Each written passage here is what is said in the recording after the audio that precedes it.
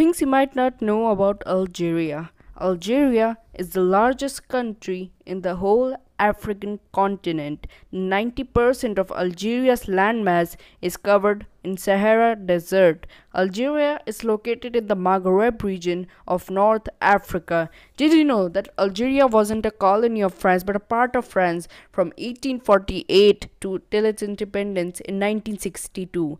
Algeria hosts 7 UNESCO sites in the whole world.